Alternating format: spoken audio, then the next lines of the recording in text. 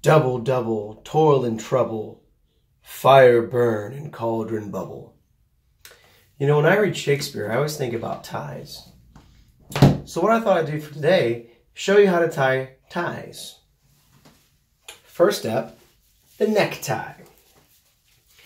So all you do, you take a tie, and I like to start with it inside out, wrap around the old neck, and obviously the, the wider side is going to be longer.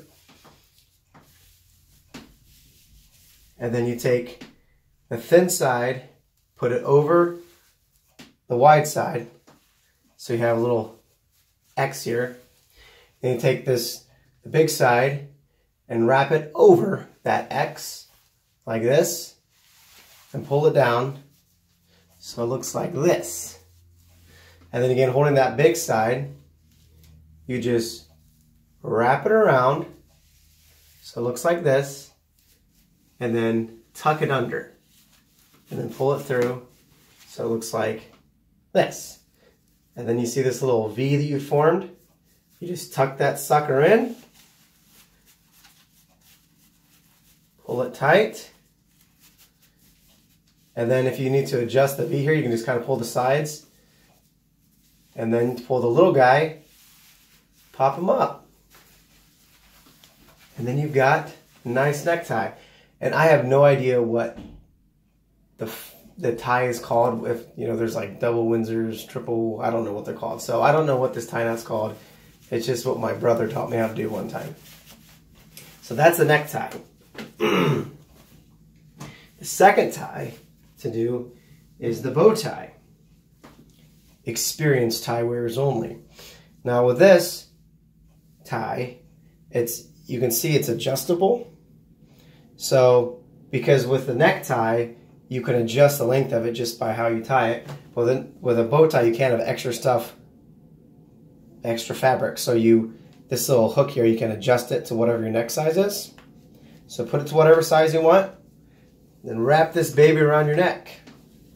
And then you're going to have, there's no thin or fat side because it's both the same. So you just, I take the side on my left and I make that a little bit longer.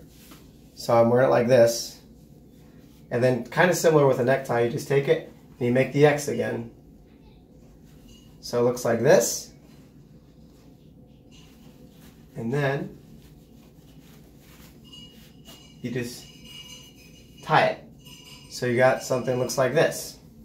Get that side guy to the side, and take your little side here and kind of form your bow tie. So it looks like you're wearing a bow tie. And then you take this guy back and you kind of get what kind of looks like an elephant.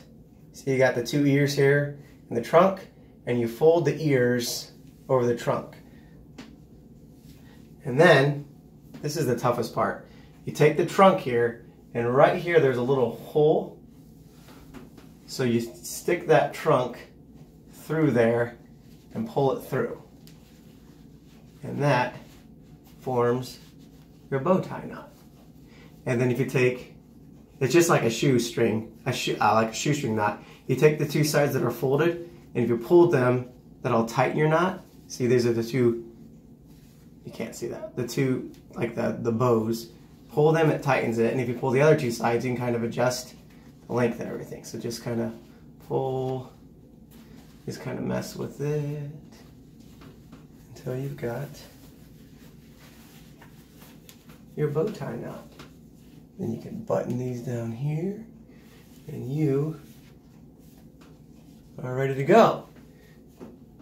And that is how you tie a bow tie. See ya.